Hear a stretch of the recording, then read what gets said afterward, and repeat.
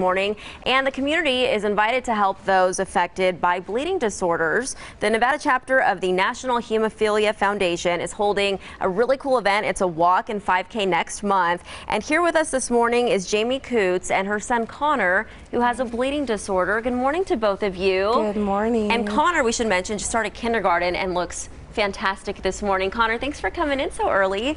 Um, Jamie, can we ask you first a little bit about his condition and how you found out about it? Yeah, absolutely. Connor has moderate, borderline severe hemophilia A. We found out at the age of two, he had two um, ear bleeds that were like, why did that happen? Uh, his pediatrician ran a blood test and it came back that he has a factor VIII deficiency hemophilia A. Not a lot of children have this. Um, what happens is kids with hemophilia A or any type of bleeding disorder cannot clot properly in their bodies. So when he has an episode where he has a bruise or anything like that, he could bleed inside his joints or his muscles for long periods of time until I give him his infusion, which replaces the missing protein in his body known as factor VIII. So how does that impact him every day?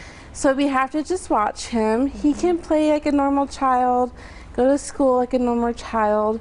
It's just we have to monitor, monitor, monitor him closely. If he falls, I have to know where, how hard he hit himself. We watch for swelling in his body. and that means there's most likely a bleed. Mm. And so we have to infuse him right away. And he does get infused twice a week to prevent bleeding. And just uh, as an example, he lost a tooth last week. Kids. That's exciting, Yeah. Connor. you show? oh my goodness. And The it's already coming in. Yeah, the other tooth is coming in. So kids with bleeding disorders tend to bleed more externally as Mm-hmm. well. Um, a child without hemophilia, the tooth might bleed for 10 or 20 minutes.